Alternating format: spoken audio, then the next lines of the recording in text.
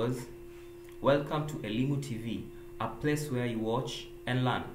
I am teacher Alex Musawa and I'll be taking you through physics form 1, lesson number 30. Our title is Electrostatics 1. The objectives of this lesson are to produce electrostatic charges, number 2, to investigate the effects of electrostatic charges. And as we all know, everything has charges. Everything includes the a ruler, uh, the, your, your cup next there to you. Everything has, has electrostatic charges.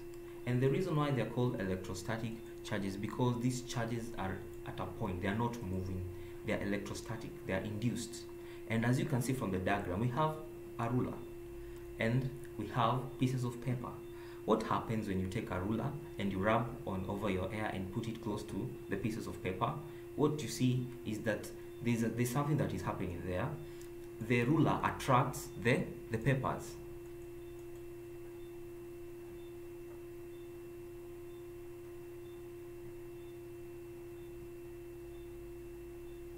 We have another example. We have a balloon, a balloon that has been inflated with air and what, what when you take the balloon and you rub it over a surface and then you bring it close to the pieces of paper what happens? The pieces of paper are attracted.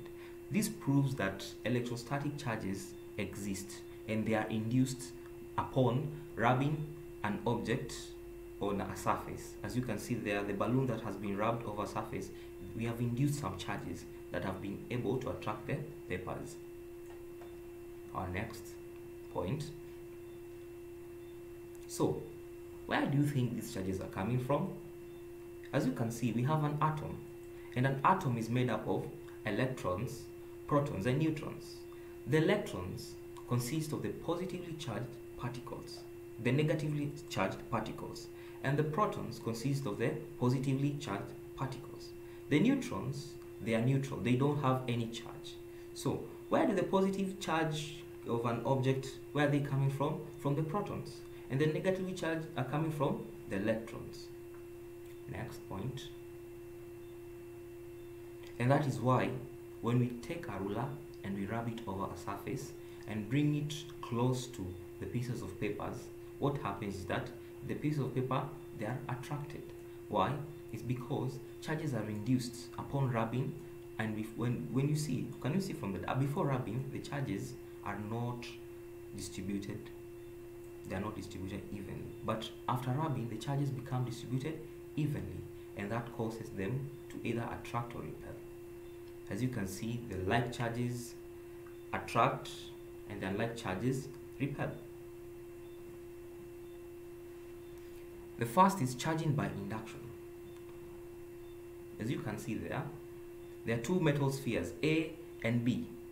So, we are going to bring a negatively charged sphere close to A and B. What happens?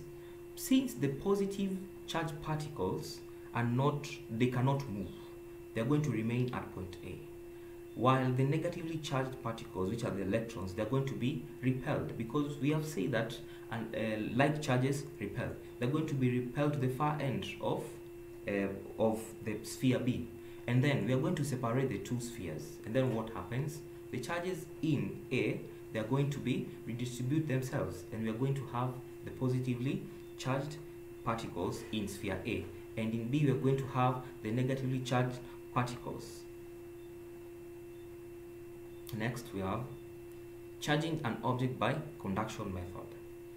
And in conduction method we, in, we have an earthing. It's, it involves whereby we are going to earth the electrons from the from the object Consider the, the situation there. We have a neutral sphere. So what happens when we bring up a positively charged object before the sphere? And we are going to have an earth. And uh, in this case, our earth is going to be, earth is going to be the hand. So the positively charged particles, they are going to attract the negatively charged particles. And as they are, they are attracted, since there's a, con there's a contact there, what happens is the negatively charged particles they're going to move into the body of the person holding that And then when you separate the two, since the negatively charged particles have moved away, the sphere remains to be positively charged. And as the charges distribute themselves, the sphere remains positively charged.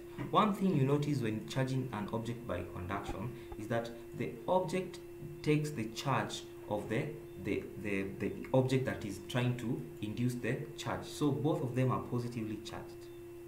Next we have charging by separation. And from our case, you can see we have two spheres there, sphere A and sphere B.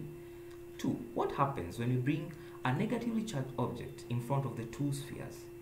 The negatively charged particles, they are going to be repelled by the object to the far end of sphere B.